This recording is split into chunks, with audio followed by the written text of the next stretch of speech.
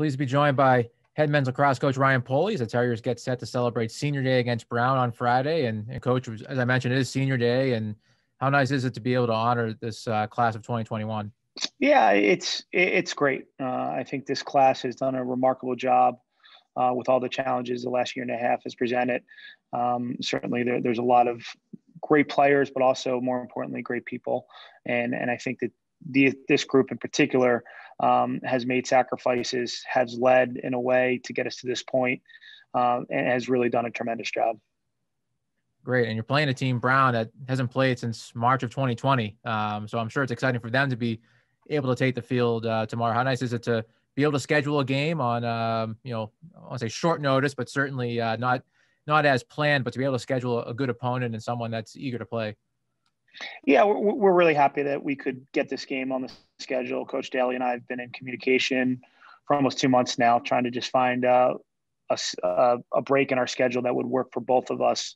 Uh, I know they've kind of been stake bitten a little bit with two of their games being canceled uh, because of COVID reasons for for other programs. So uh, when the opportunity presented itself, he was my first call, and it was nice to you know firm everything up, get everybody on the right testing protocol, uh, and have an opportunity for Brown to play their game.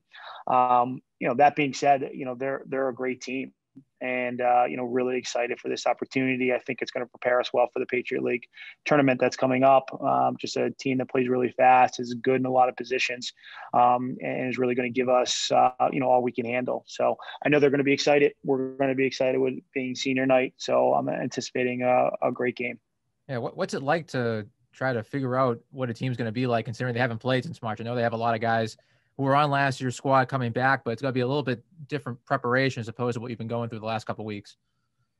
Yeah, you're exactly right, Kevin. You know, you get this far in the season, everyone has you know five to nine games or whatever, depending on their schedule. So you have film to go on. You know what this team looks like, and um, it, you know, it kind of reminds you of your first game of the season where you're really you know, relying a lot on you know last year's film and just trying to figure out uh, exactly what this this version of their team is going to look like. So, um, you know, we're right now we're in the phase where we're really worried, we're really concerned about our, ourselves mostly.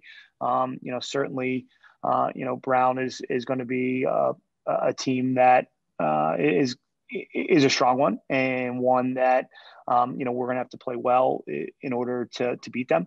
So you know, but we've really after the Army game kind of focused on on things that we need to get better, and then we'll get another two week stretch to kind of get things in organized as we prepare for the Patriot League tournament. Yeah, how how important is it, you know, prepping for the Patriot League tournament, knowing that you've clinched a spot, knowing that you're going to be involved in the postseason, you know, how much is it now just a, a tune up and making sure that you get guys ready to go, but also keeping them healthy and, and making sure they're in the right mindset going forward? Yeah, it's certainly a balancing act. You know, certainly this year's been so unique, and guys have been in and out for different reasons. And um, you know, certainly as we try to put our best product on the field at the end of the year, you know, we're, we're, we're viewing this game as as to try a couple different things, try a couple different guys in the lineup, um, you know, fill some holes here and there, uh, and, and make sure we have our, our best product when we uh, you know play in that quarterfinal game.